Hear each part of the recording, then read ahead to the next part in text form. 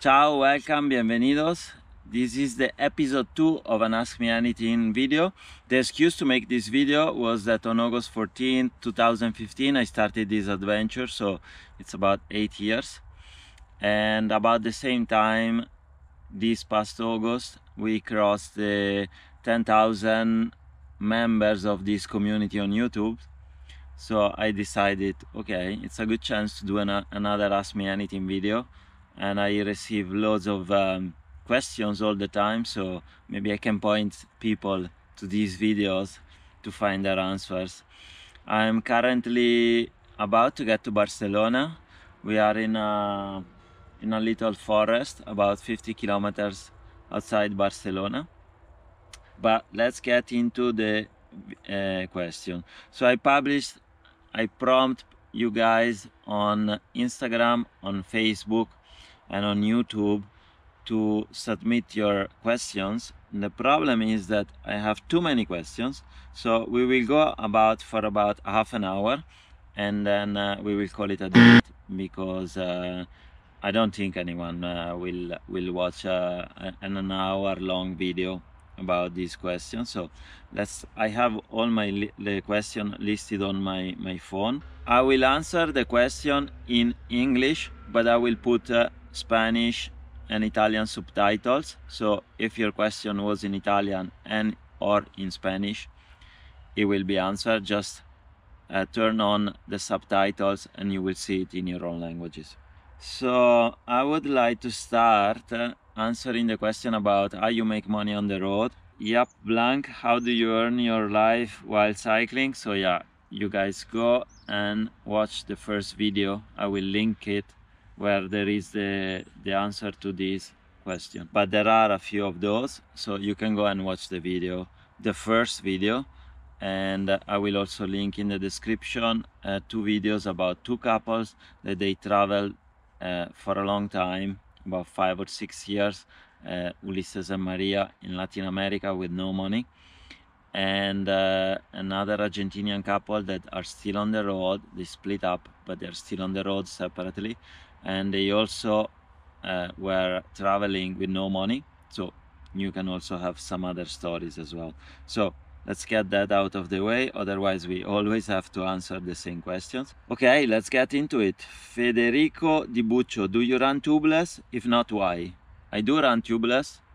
I didn't run tubeless in the americas. I had a surly Disc Trucker and um, i was using the schwalbe or Schwalbe Marathon plus Tour or plus MTB and it was brutal. Uh, so when I had the opportunity to change bike because I sold my Surly disc trucker Isabella to pay for flight tickets to Cape Town and then I picked up the, the Genesis uh, Longitude. I had uh, the friends of Bike Cafe send me a new a new bike and gave me a new bike and uh, they gave me a couple of choices. Mostly was the Genesis Longitude or the Genesis Vagabond and I and I got the Genesis Longitude because it had wide tires and I could run them on tubeless and they're very comfortable. I rarely have problems.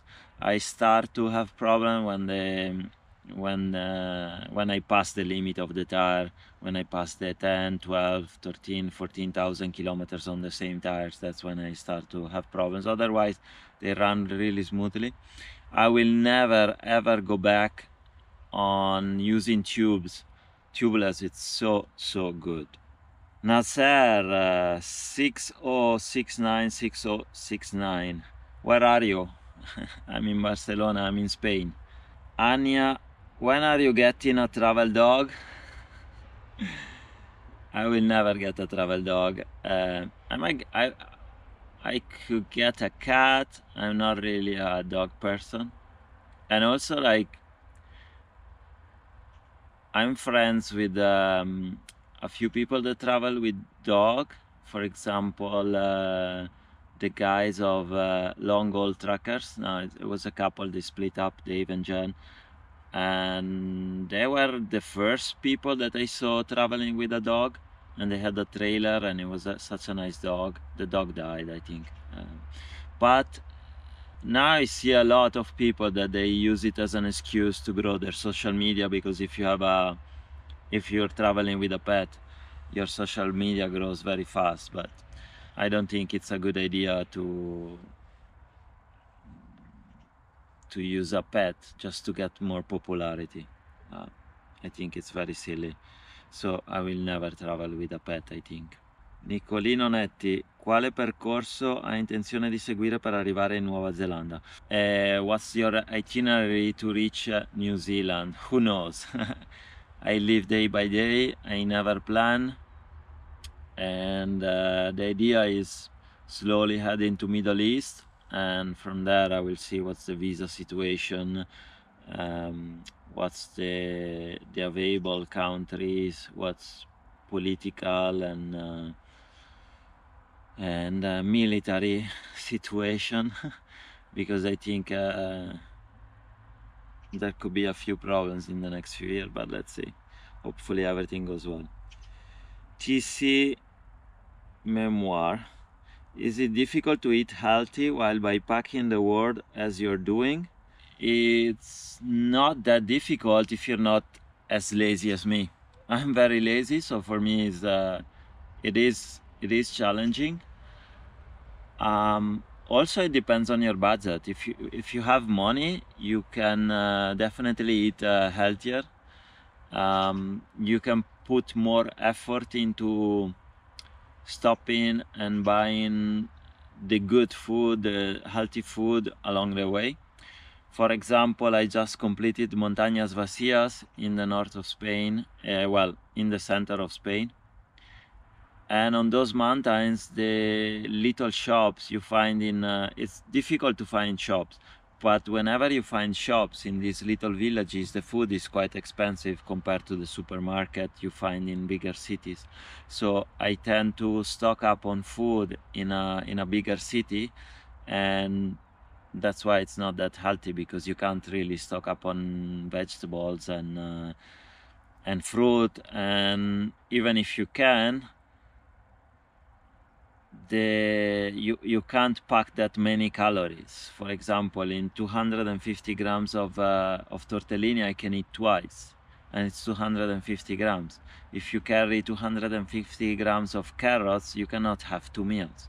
So for me it's very challenging but also because i i have no money. So if i had uh, more money then i would try to eat more healthy. But for example when i did from madrid to and I completed the Montañas Vacía and then I was going to the coast when I arrived in Castellón de la Plana.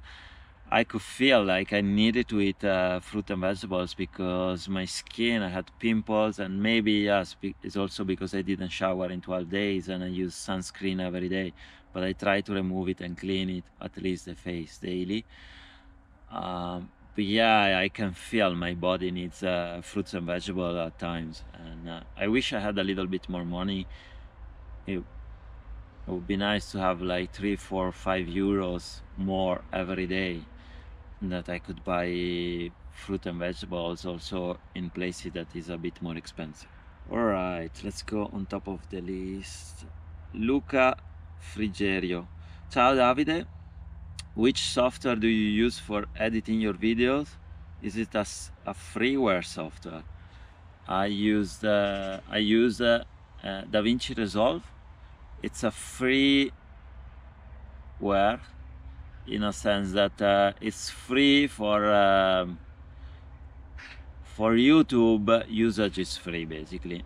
But if you want they also have a um, a paid version because it's a professional software that even people that they edit uh, commercials they edit movies they use especially for color grading. So you can use the the free part because up to 4k it's free and then uh, you start to pay. And also for some advanced uh, editing tools you should pay. Uh, but it's not my case. I don't need uh, or at least my editing skills are so basic that you can do everything with the with the free version.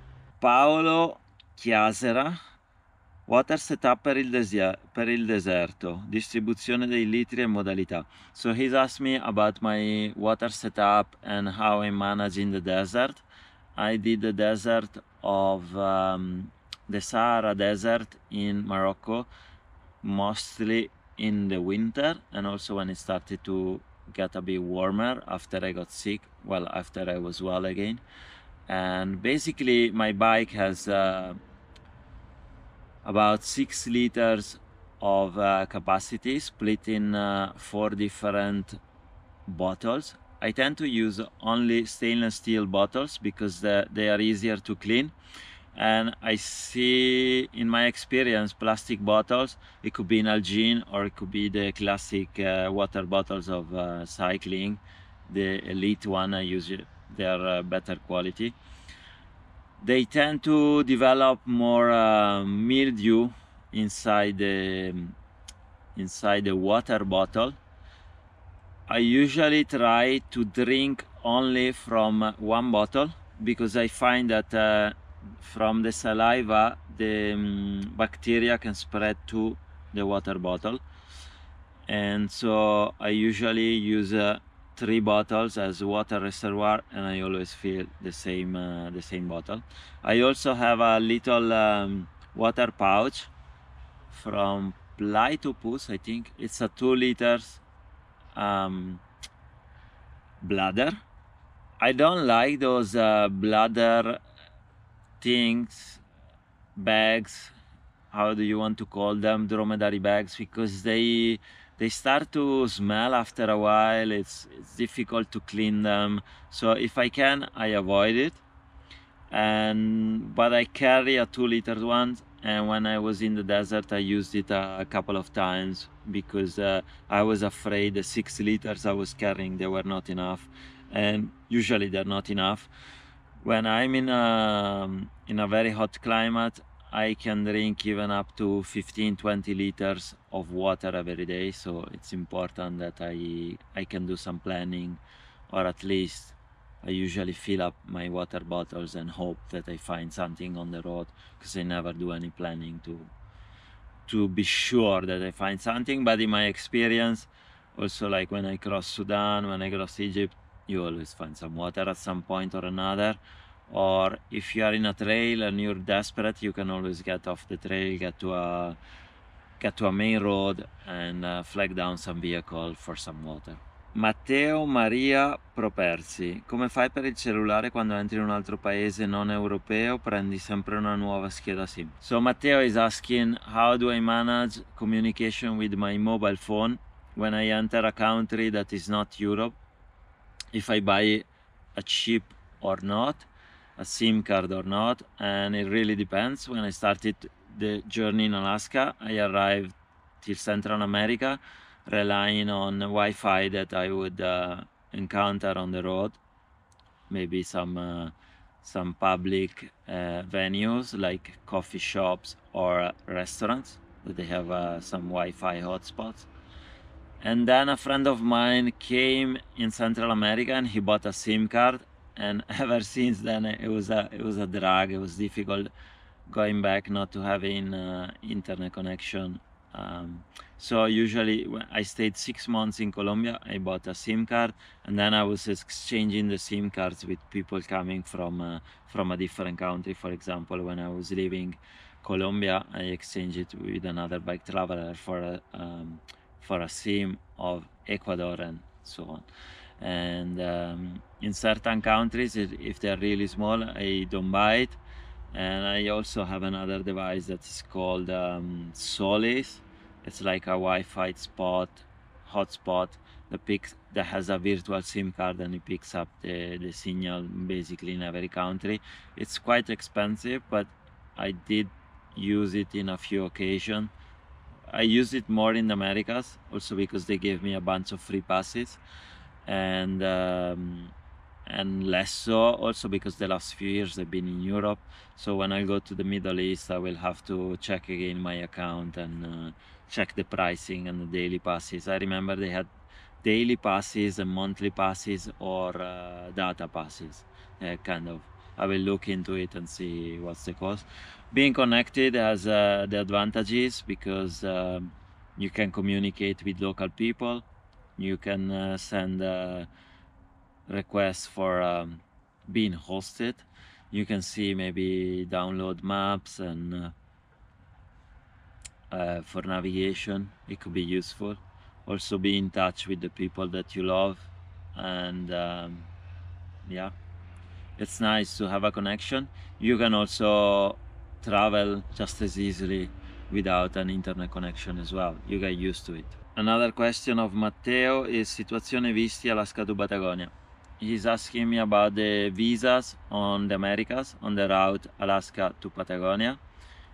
It's uh, very easy uh, depending on your style of traveling if you're not that fast I would suggest to get a a visa as a European for uh, United States. It's a lengthy process because they probably have uh, so many appointments. You have to get an appointment and an interview at the US embassy to be granted a visa. Or if you're fast enough, you can go to a, with an ESTA visa and you do it everything online. I asked for a proper visa. It's a bit expensive. I think it was 150 euro but it lasts 10 years. So um, yeah it is what it is. Canada is visa on arrival. Mexico visa on arrival. All central america visa on arrival. I think mexico you have to, uh, canada is free. Mexico i think you have to pay 25 dollars. And then in central america i think belize was free Guatemala was free, and then I think uh, um, Honduras or El Salvador, Nicaragua, and Costa Rica. I think no, I think Costa Rica, um, Nicaragua, Costa Rica, Panama. It's one visa, and they ask you for about uh, five dollars, and they always never change. They don't have a change. It's like four dollars or something like that they always uh, try to rip you off and keep the change. And then in south america all the countries are uh, visa on arrival and they are all free for europeans or at least for italian passport. And matteo many questions. Quanta acqua hai portato nel deserto salato in bolivia? Uh, how, many, how much water did i carry in the salar de uyuni in bolivia? The salt flat yeah i don't remember. It's so many so many years. But i think at that time i had a Nalgene of 1.5 liters. And i had uh, one water bottle of about one liter.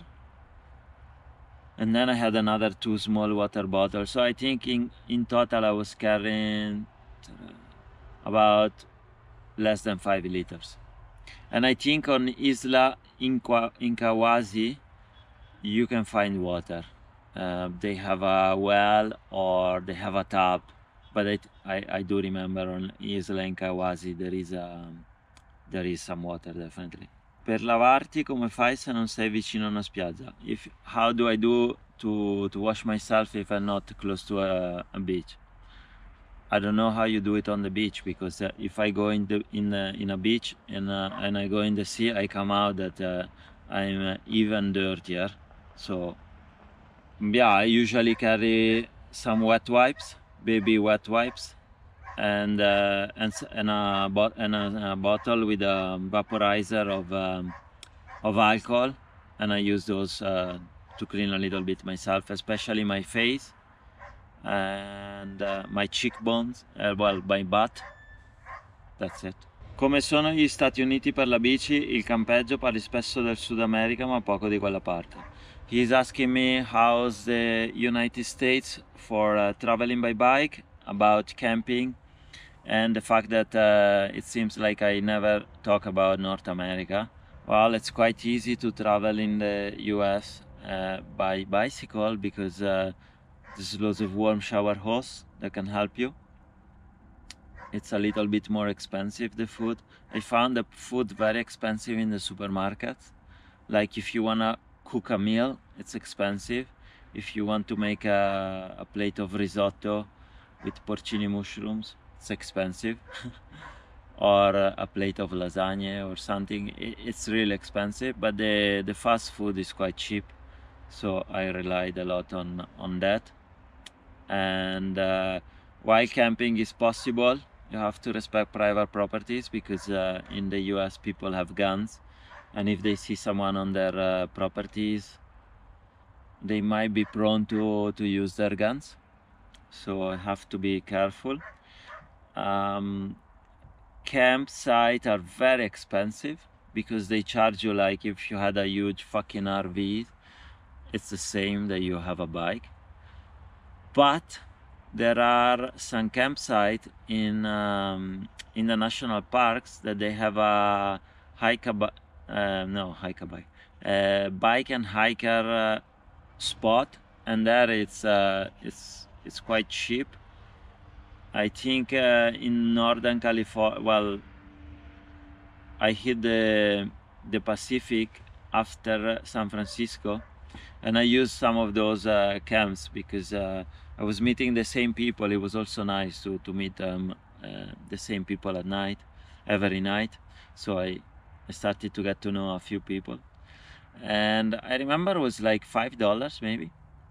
And then the closer you you get to LA, the, the, the pricing was going up. And then it was like, at the end, I think it was $10 around LA till San, San Diego. I think there is a couple of um, national parks where you can uh, where you can camp at night, and I think it was ten dollars, which was quite expensive to be honest. Canada, United States, pretty good.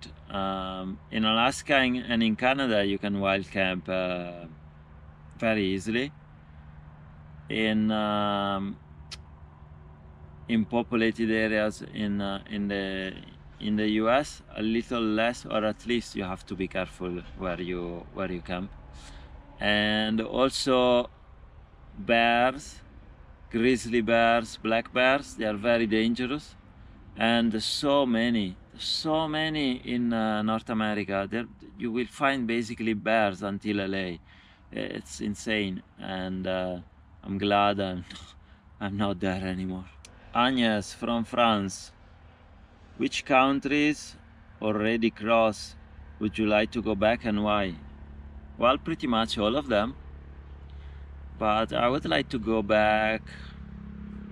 Well, the winter is finishing in in Europe. Well, the summer, sorry, is finishing in Europe. So I would like to go back to some hot place some tropical place with coconuts that'd be nice I don't know Mexico would be fun or Colombia be sweet yeah? Um, or Uganda. Uganda in Africa I would like to to cross uh, all the country instead of just half of it. That'd be nice. Um, yeah so many countries I would like to go back to. Morocco as well. It was fun this winter. Sadly, a few days ago there was a huge earthquake and many people were killed. And uh, it's kind of sad because I went through those mountains to get to Marrakesh and uh, and maybe some of the faces that I've seen uh, they're not here anymore so it's kind of sad. I'd like to go back to Sudan and hopefully find a, country in peace. Turkey is also like high on my list. Yeah, so many countries I would like to go back to. Oh, Agnes also asked which countries are the most welcoming with bike travelers. They say Iran is uh, is very welcoming. I never been because I I still have to go through that part of the world. But in my experience, it's mostly Muslim countries, um, Morocco, Sudan, Turkey. They're very welcoming. And then also Latin America, where the countries were very supportive, especially in Colombia I had a good time but pretty much everywhere uh, in Latin America I was pretty well received. And then uh, tons of Blandins and uh, I don't know 20 questions. Let's see. Let's start to answer a few ones. Since you started your trip, what are the three unforgettable people you met and why? Well, let's pick one. It's um, the monk, uh, John, the guy from uh, threemules.com. I think it's uh, it's a it's a guy who's been traveling for I don't know many decades with three mules, sometimes two, sometimes one, depending on the situations. And I met him in uh, very close to San Diego, and it was uh, an important moment in my journey because I met this guy that was really humble and um, he wasn't really willing to to share a lot but he's really wise and um, and I think the very few words very few words sometimes goes a long way. But I remember I do follow his journey it's uh, it's incredible how much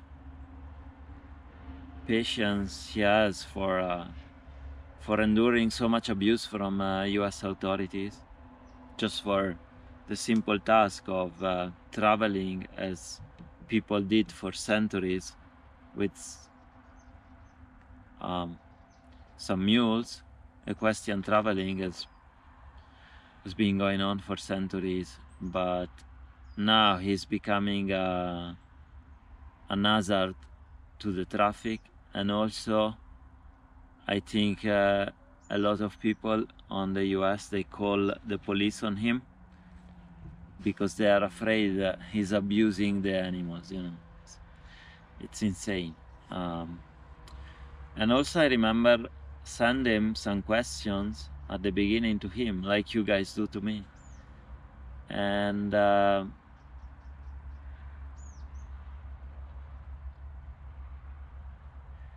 and once I asked him how he found his trip so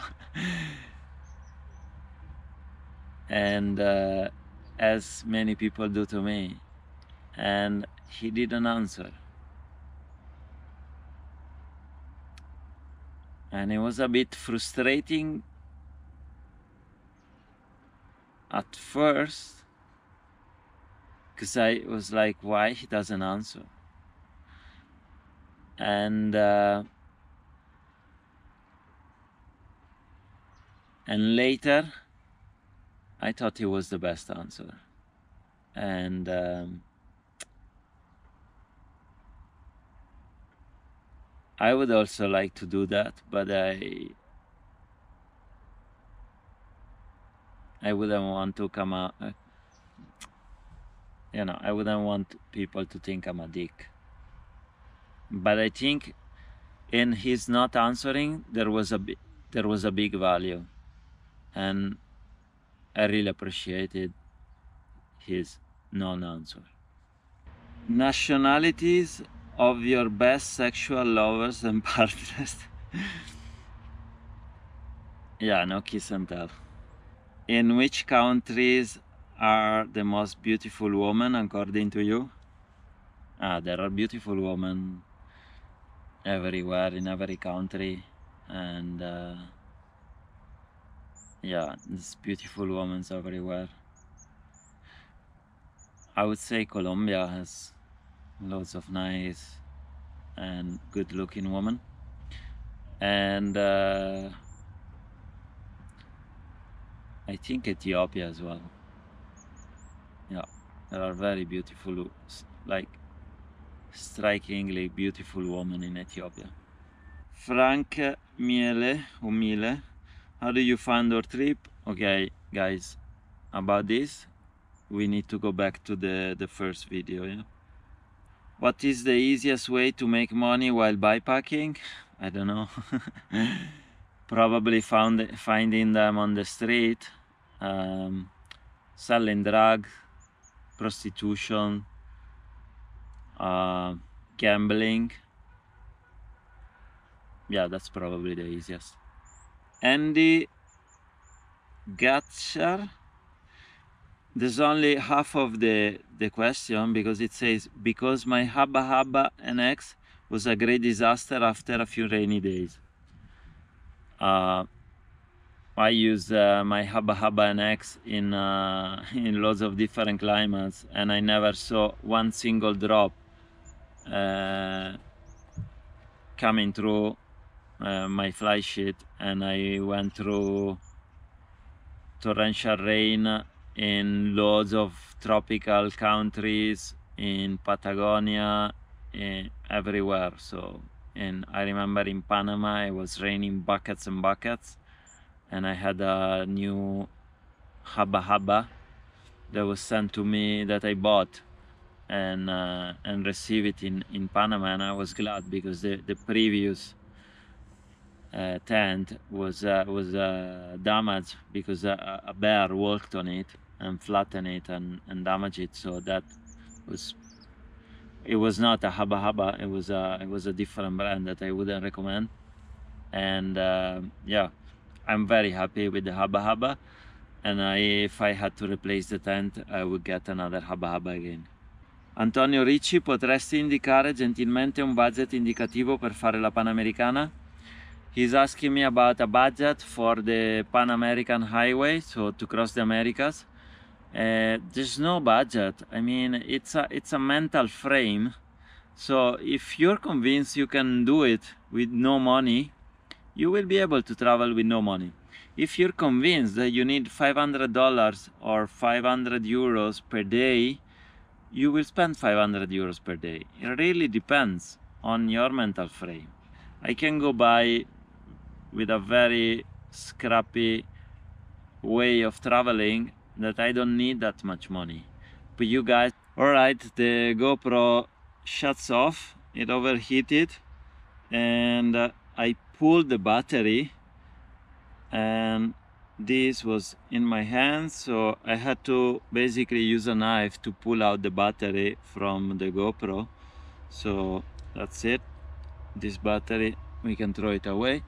Um, so yeah I will finish the questions that you guys um, sent. In another video I will do another video like this when I get to Barcelona.